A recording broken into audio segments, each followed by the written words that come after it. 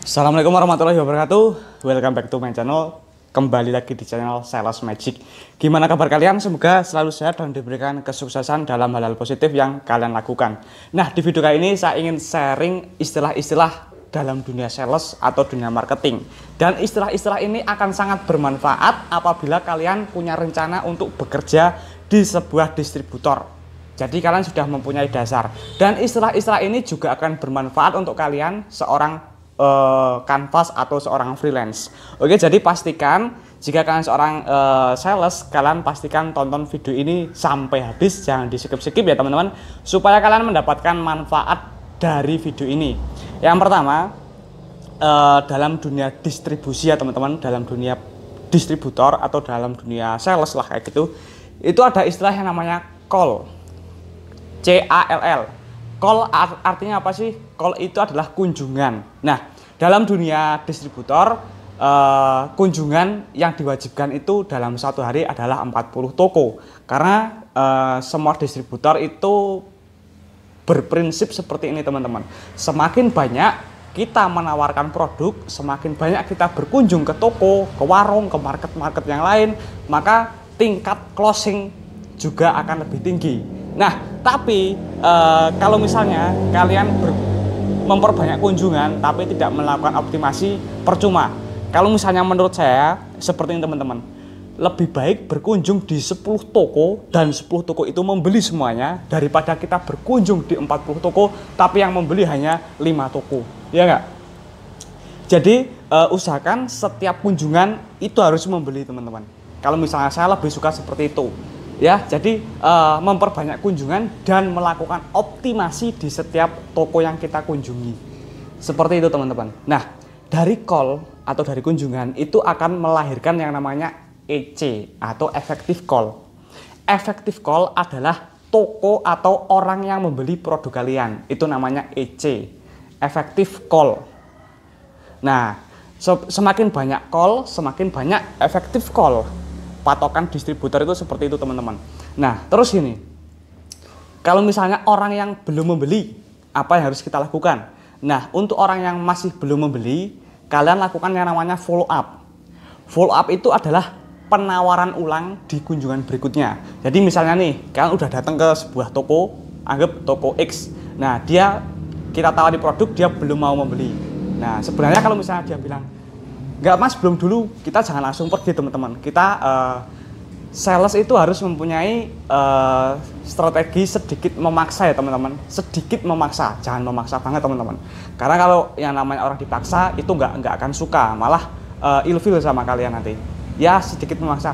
Ayolah bu, coba bu. Ini udah laku kok, udah ada iklannya juga bu, udah masuk TV uh, terus juga banyak promonya dan untungnya juga besar bu untuk pemilik toko bu seperti itu. Ya pokoknya kalian agak apa ya kalau bahasa Jawanya itu uh, harus bisa didedes teman-teman. Didedes itu di pojok terus kayak gitu. Jangan sampai lepas.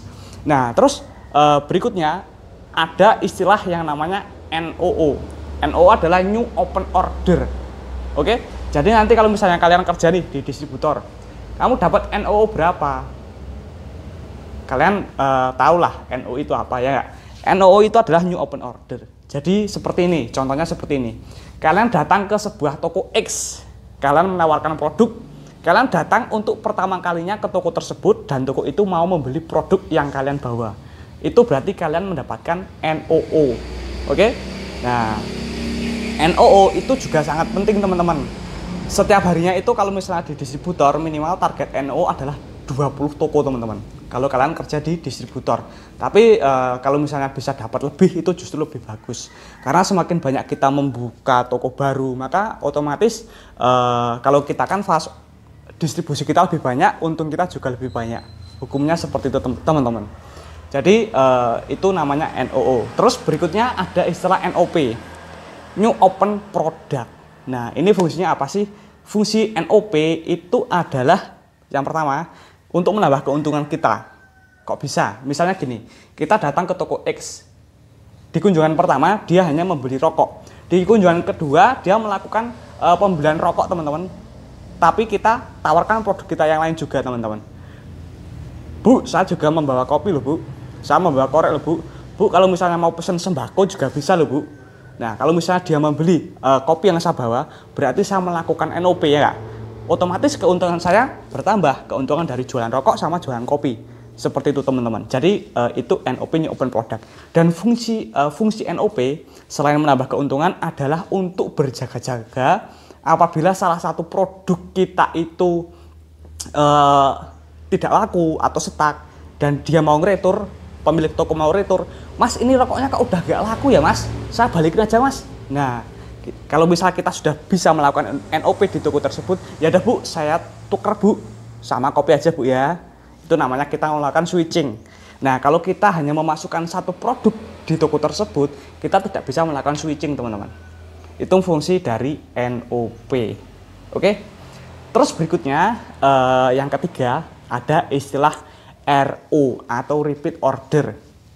Misalnya eh, kalian kemarin datang ke toko X, toko X membeli produk kalian. Di minggu berikutnya kalian datang lagi ke toko itu dan membeli lagi teman-teman. Itu namanya kalian mendapatkan repeat order atau pembelian ulang. Nah kalau misalnya kalian sudah mendapatkan banyak sekali RO, banyak repeat order, banyak toko yang melakukan pembelian ulang sama kalian, congratulations teman-teman. Kalian sudah uh, apa ya produk kalian berarti bisa diterima di masyarakat produk kalian berarti uh, apa ya laku lah kayak gitu laku. Kenapa saya bisa bilang seperti itu? Kalau produknya nggak laku dia nggak akan beli lagi sama kita. Ya nggak? Terus berikutnya ada istilah yang namanya OA atau outlet aktif. Misalnya seperti ini. Saya contoh uh, contohkan seperti ini. Misalnya toko X dia membeli produk sama kita.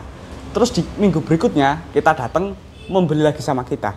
Nah, di minggu ketiga masih membeli lagi sama kita. Itu bisa dikatakan OA atau outlet aktif. Jadi toko yang setiap hari kita kunjungi, setiap minggu kita kunjungi dan selalu membeli produk kita. Bahasa gampangnya langganan, pelanggan. Nah, OA atau outlet aktif itu bisa terjadi apabila OA mempunyai yang namanya konsumen loyal, teman-teman. Nah, untuk mendapatkan konsumen loyal kita harus melakukan yang namanya sell out. Jadi uh, kita itu sales itu tidak hanya dituntut bisa melakukan sell in, tapi juga dituntut untuk melakukan sell out. Jadi saling berkesinambungan seperti itu. Terus berikutnya ada istilah CRC. CRC apaan ya? CRC itu adalah sebuah tabel ya teman-teman yang berisi tentang pemetaan suatu wilayah. Misalnya gini, kamu bahas CRC enggak? Jadi CRC itu isinya itu gini teman-teman. Nama, alamat, sama item pembelian. Misalnya toko X, misalnya alamat Yogyakarta, terus uh, belinya apa aja. Nah itu CRC. Terus nomor WhatsApp. Nah usahakan kalian setiap kalian datang ke toko, kalian harus mempunyai, mendapatkan database, yaitu bisa berupa nomor WhatsApp. Kalau kita sudah mempunyai database yang banyak, itu enak sekali teman-teman kalian bisa melakukan endorse iya jangan salah jadi melakukan endorse bukan hanya dari YouTube dari WhatsApp pun kita bisa melakukan endorse terus kita juga bisa ya pokoknya enak lah kalau misalnya uh, kalian mendapat mempunyai nomor kontak yang tertarget itu enak sekali teman-teman Terus berikutnya ada istilah uh, eh, LPH. LPH apa sih? LPH itu laporan penjualan harian. Nah, jadi ini kalau misalnya kalian udah diterima uh, bekerja di distributor, tolong ambilkan LPH dong. Nah, kalian tahu LPH fungsinya buat apa. Jadi dia itu untuk uh, mencatat hari ini itu yang keluar itu item apa aja sih?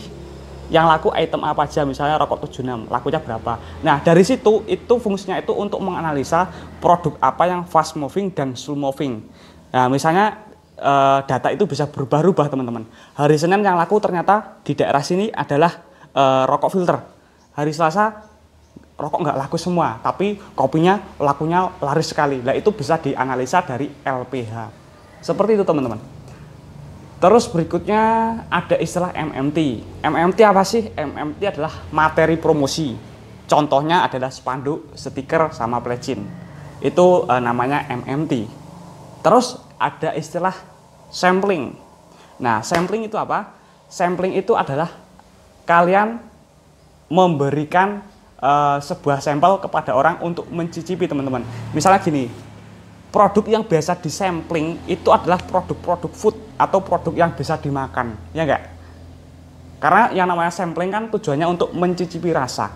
Nah, tapi cara melakukan sampling itu juga jangan sembarangan teman-teman. Kalau misalnya kalian uh, setiap ada orang kalian sampling, sampling kalian nggak tertarget, yang terjadi adalah kalian membuang uang sia-sia. Ya, justru uh, kalau misalnya kalian bekerja di distributor itu hanya menambah beban rasio pengeluaran perusahaan, tapi tidak ada uh, imbal balik. Misalnya seperti ini, saya kasih contoh. Kalian membawa rokok kretek, kalian mau nyempling, kalian tanya dulu sama orangnya, permisi pak maaf pak bapaknya rokok nggak pak?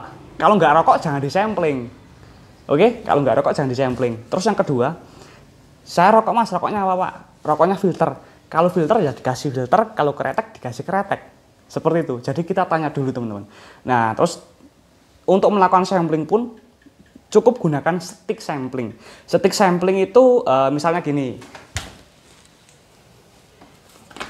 nah kebetulan ada rokok teman-teman rokok kretek Nah, bapaknya rokok kretek, iya. Ini Pak, rokok kretek. Nah, terus uh, disuruh uh, nyoba, nyoba di sini, coba sini Pak. Kalian minta uh, pendapatnya, gimana Pak, rasanya enak enggak? Kayak gitu. Kalau misalnya rasanya enak Pak, Bapak bisa mendapatkan rokok ini dengan harga segini-segini di toko sana Pak, di toko X. Di sana sudah membeli produk sama saya Pak. Rasanya enak kan Pak? Nah, gitu teman-teman. Nah, terus uh, kalau misalnya di sebuah keramaian, misalnya di pos ronda di mana atau di tempat-tempat yang ramai kalian bisa menggunakan pack sampling teman-teman pack sampling itu adalah uh, kita kasih satu bungkus atau dua bungkus teman-teman nah tapi gini permasalahannya adalah kalau misalnya kalian kerja di distributor rokok itu kalian akan mendapatkan fasilitas sampling tapi kalau kita sudah gimana mas? Apakah kita harus modal dulu? Kalau misalnya uh, kalian setuju sama pendapat saya, sebaiknya ya seperti itu teman-teman. Itu karena kita melakukan sell out.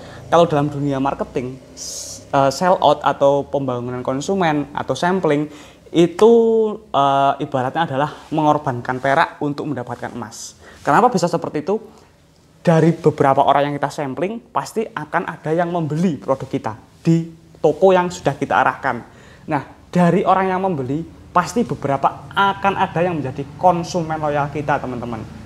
Semakin banyak konsumen loyal maka pembelian atau order toko sama kita juga lebih banyak. Oke, seperti itu. Yaitu adalah istilah-istilah dasar dalam dunia uh, sales, dalam dunia distribusi ya teman-teman. Oke, uh, mungkin seperti itu videonya. Bagi kalian yang suka sama video-video seperti ini, bantu saya subscribe, aktifkan lonceng notifika notifikasinya supaya selalu mendapatkan update terbaru dari video ini.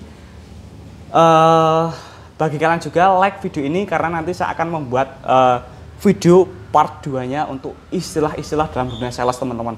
Karena kalau misalnya saya buat dalam satu video akan sangat panjang. Nanti kalian malah bosen dan akhirnya malah nggak ketonton videonya. Oke? Okay? Oke jangan lupa follow juga Instagram saya bangkit underscore real. Yang ingin join SMJK masih sampai akhir bulan masih saya tunggu teman-teman langsung saja kirimkan email kalian di pambudirian40@gmail.com atau bisa DM Instagram saya. Linknya semuanya ada di deskripsi video ini. Oke terima kasih. See you next time. Makasih yang udah mendengarkan video ini sampai habis. Kalian luar biasa the best.